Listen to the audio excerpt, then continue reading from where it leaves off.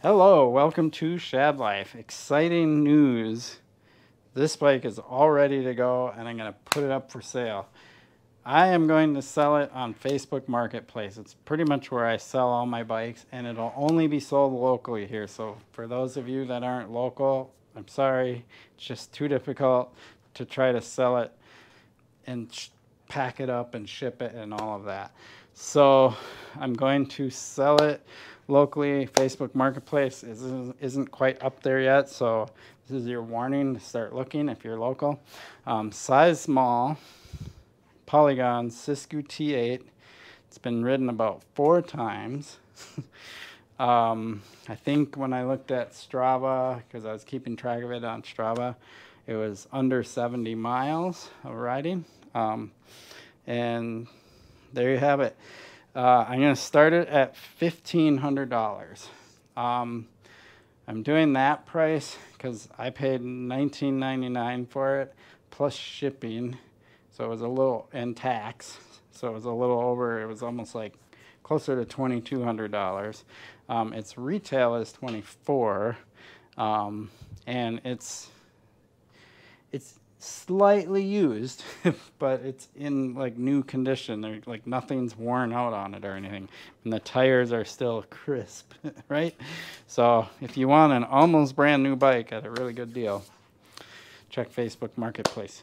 Um, so there you have it. That's going up for sale. So now that I announced that this is going up for sale, remember it's a size small. So I'm five foot seven. So if you're kind of curious as to who it would be good for. There you go. Um, next bike, I already ordered it, is going to be a hardtail.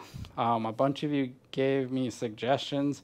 The reason I'm doing a hardtail is my salsa is literally going in in a couple of days and it should be ready to ride here soon. Um, and so I thought, well, why not test another hardtail?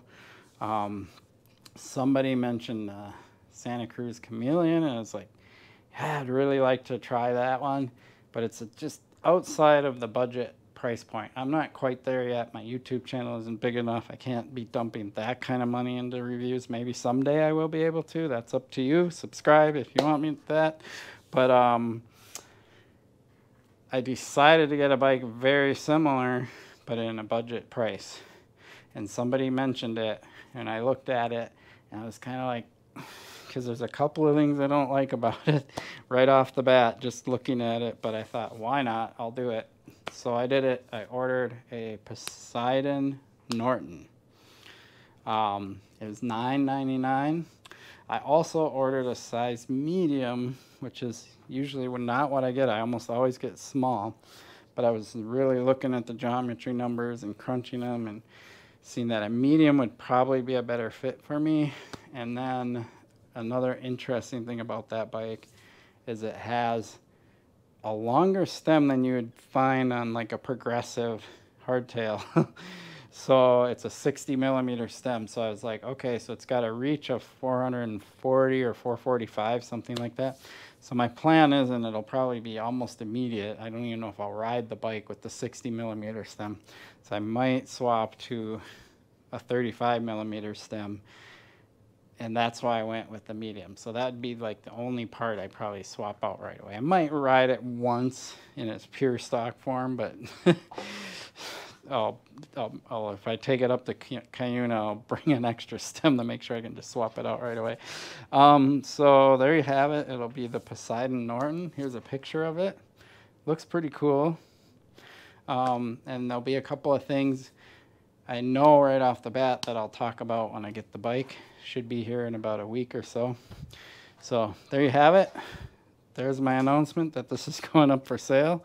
Uh, Facebook Marketplace, local only.